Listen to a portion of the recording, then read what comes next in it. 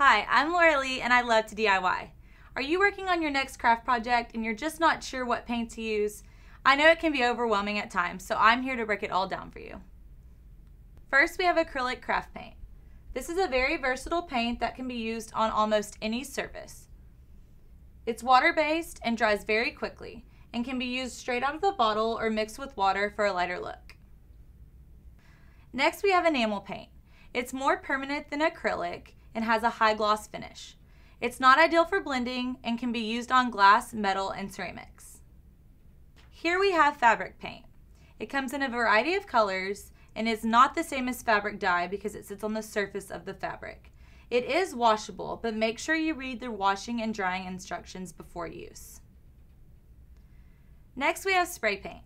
This is a permanent enamel paint that comes in an aerosol can and can cover large surfaces. It's great to use on objects with crevices and corners that are hard to reach with a brush. Remember, when using spray paint, make sure that you're in a well-ventilated area. Here we have chalkboard paint. This is a very trendy paint that comes in many different colors. It can be used on practically any surface and you can also write on it with chalk. Next we have chalk paint, not to be confused with chalkboard paint. This is used to create a vintage and distressed look and dries with a matte chalky finish. It's also great for refurbishing furniture. Here we have patio paint, which is formulated to be weatherproof.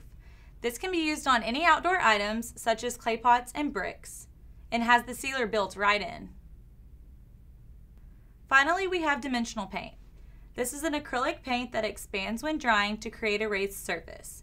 It's most commonly used on fabric and comes in a variety of colors. There are so many different types of paint for whatever project you might be working on, and we have it all at Michaels.